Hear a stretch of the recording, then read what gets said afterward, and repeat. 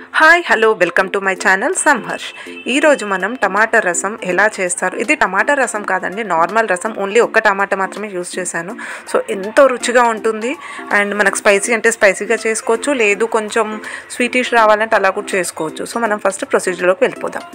First మనం నిమ్మకాయ size ఒక uh, సైజులో చింతపండు నానబెట్టుకోవాలి అలాగే ఒక టమాటా తీసుకొని ఒక టెన్ మినిట్స్ నానబెట్టాక రెండు కలిపి మనము మంచిగా స్మాష్ చేసేసి దాని రసం తీయాలి.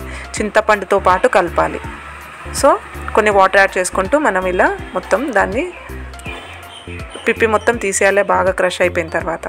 సో తర్వాత ఇప్పుడు మనం మిక్సీ జార్లో దాల్చిన చెక్క లవంగాలు తీసుకున్నాను. అలాగే మూడు స్పూన్ల జీలకర్ర చిన్న స్పూన్ ధనియాలు ఒక టూ స్పూన్స్ ఇవన్నీ యాడ్ చేసుకుంటున్నాను. సో నేను చిన్న స్పూన్ యూజ్ చేశాను కాబట్టి మూడు స్పూన్లు వేసాను. అలాగే మూడు రెడ్ మిర్చి ఎర్ర మిరపకాయలు స్పైసీ కావాలన్న వాళ్ళు ఇంకొక రెండు కూడా యాడ్ చేసుకోవచ్చు. అలాగే వెల్లిపాయలు ఒక చిన్న సైజు వెల్లిపాయ మొత్తం ఒలుచుకోవాలి.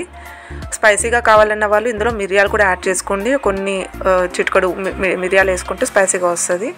సో ఇప్పుడు మనము ఆయిల్ యాడ్ చేసుకోవాలి. మనం ఇప్పుడు ఆయిల్ వేడెక్కిన తర్వాత ఆవాలు వేసుకోవాలి. సో కొంచెం వేడెక్కలేదు. ఇప్పుడు వేడెక్కిపోయింది. సో ఆవాలు చిటపట అనాలి. అనిన తర్వాత మనము ఇందులో ఇంకా వన్ స్పూన్ జీలకర్ర వేసుకోవాలి. సో జీలకర్ర వేసుకోవాలి. అలాగే ఒక పచ్చిమిర్చి రెండు. కొంచెం స్పైసీ కావాలన్న వాళ్ళు ఇంకొంచెం యాడ్ చేసుకోవచ్చు. నేను ఇక్కడ ఎక్కువ స్పైసీ చేయట్లేదు అందుకే నేను మిరియాలు కూడా యాడ్ చేయలేదు ఇంతకుముందు మిక్సీ జార్లో. అలాగే కరివేపాకు వెల్లిపాయలు కొంచెం క్రష్ చేసి వేసుకుంటే బాగుంటుంది. నేను ఇక్కడ క్రష్ చేయలేదు బట్ మీరు క్రష్ చేసి వేసుకోండి. అలాగే కొంచెం పుదీనా. ఇవన్నీ మనకి బాగా మిక్స్ చేసేసుకొని మంచిగా ఫ్రై అవ్వాలి.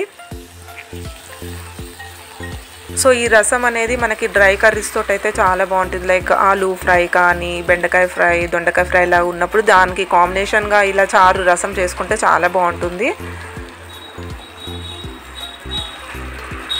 సో మనం ఇలా మిక్స్ చేసేసుకోవాలి. సో అలాగే చిట్కడు మనము దాన్ని ఏమంటారు జీలకర్ర మెంతుల పొడి చిట్కడు వేసుకోవాలి. ఇది ఆప్షనల్ అలాగే ఒక స్పూన్ పసుపు. ఇవన్నీ వేసుకొని బాగా మిక్స్ చేసేసుకోవాలి. సో ఇలా నీట్గా మిక్స్ చేసేసుకొని. సో ఇది ఫ్రై అయిపోయింది కదా. ఇప్పుడు మనము మిక్సీ కొట్టి పెట్టుకున్నాం కదా ఇంతకుముందు మసాలా. అది మనము ఇందులో వేసేయాలి. ఇది ఎక్కువ ఫ్రై చేయకూడదు. మనకి మాడు మాడుగా అలా అలా ఫ్రై చేయకూడదు.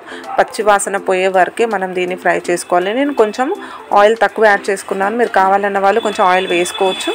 సో నేను ఎక్కువ ఆయిల్ ఇష్టపడను. అందుకని తక్కువ వేసాను ఇక్కడ. సో ఇది మనకి మంచి ఫ్లేవర్ స్మెల్ వస్తుంది. అది వచ్చే వరకు మనం దీన్ని బాగా ఫ్రై చేసుకోవాలి.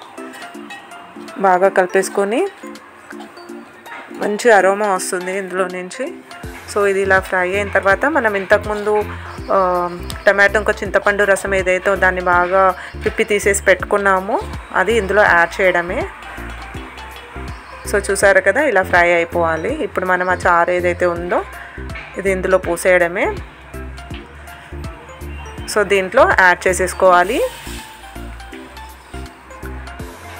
సో ఈ చారు మొత్తం ఇందులో యాడ్ చేసేసుకొని బాగా మిక్స్ చేసేసుకోవాలి. ఇది ఎక్కువ మసలాల్సిన అవసరం లేదు. ఒక రెండు కానీ మూడు పొంగులు వచ్చే వరకు దీన్ని దీన్ని మసలు పెడితే సరిపోతుంది. అలాగే తగినంత సాల్ట్ వేసుకోవాలి. One and half spoon salt వేసేసుకొని మిక్స్ చేసేసుకొని మనకి సరిపడా ఉందా లేదా ఒకసారి చెక్ చేసేసుకొని దీన్ని ఒక్క టూ మినిట్స్ అలా మరగబెడితే సరిపోతుంది. చాలా సింపుల్ అండ్ ఈజీ. అండ్ మనకి అంటే డ్రై కర్రీస్ డ్రై డ్రైగా ఉంది అన్నప్పుడు ఇలాంటి రసం వేసుకుంటే బాగుంటుంది. అలాగే పిల్లలు ఉన్నారు ఎక్కువ స్పైసీ తినరు అన్న వాళ్ళు మాత్రం లైట్గా బెల్లం కావాలంటే యాడ్ చేసుకోవచ్చు. ఇది ఆప్షనల్ మాత్రమే. సో స్పైసీ కావాలన్న వాళ్ళు ఇనిషియల్లీ మసాలాలో మిరియాలు యాడ్ చేసుకుని బెల్లం అవాయిడ్ చేయండి. అలా అయితే స్పైసీగా ఉంటుంది చాలా బాగుంటుంది. లేదు స్పైసీ వద్దు అంటే మిరియాలు అవాయిడ్ చేసేసి ఇక్కడ బెల్లం వేస్తే ఇలా కూడా బాగుంటుంది. నాకు బేసిక్లీ స్పైసీయే నచ్చుతుంది బట్ పిల్లలని దృష్టిలో పెట్టుకొని నేను కొంచెం స్వీటిష్గా చేస్తున్నాను. స్వీట్ అంటే స్వీట్ ఏం రాదు. పులుపు అనేది ఇరుగుతుంది మనకు బెల్లం వేయడం వల్ల. సో చూసారు కదా ఎంతో tasty and easy rasam preparation ఎలా చేస్తారో ఏంటో మీకు నచ్చినట్టయితే please subscribe to my channel and thank you so much for watching. Keep watching for more such updates.